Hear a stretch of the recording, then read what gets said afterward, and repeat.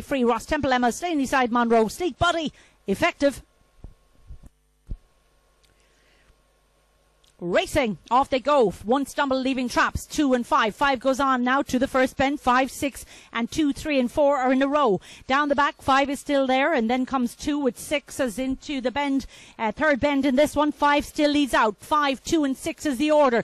Four, one, and three are at the back. They go for the second last bend. Last bend now, and five is still there. Two is trying hard, but still five is the leader here as they go for home. Two will try hard on the run in, but trap five up front is comfortable. Five from two with six, and that's how they finished in race eight.